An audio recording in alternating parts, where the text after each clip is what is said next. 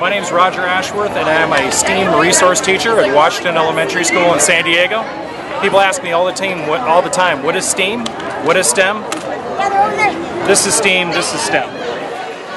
Follow me over here. A lot of us think of science, technology, engineering, arts, and math as the disciplines and how they're all woven together. But really, it's a practice. It's a way of doing things. It's a way of thinking.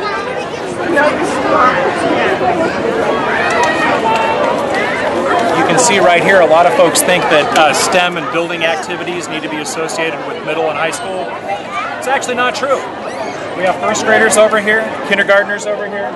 We have our uh, fearless leader, our principal Crum over there, who's actually dialed in working to actually build parts to hopefully connect a bridge, some sort of apparatus.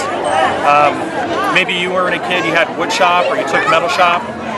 It's kind of like that, but it's also as simple as just constructing your own model and creating things in your own head. Well, the majority of artists and scientists or scientists that you talk to or engineers that you talk to will tell you that it all starts with doodling, it all starts with sketching. In a sense, it really all starts with art. And then art is used in coordination with a thought process to ask, find, find a solution to a problem. And usually that starts by sketching it out, drawing it out, then creating prototypes, and eventually creating the final product. That's why. Oh, I love to work with wood. Anything to do with wood, bookcases, tables. In fact, I do plan on shaping a surfboard before I leave this planet, hopefully.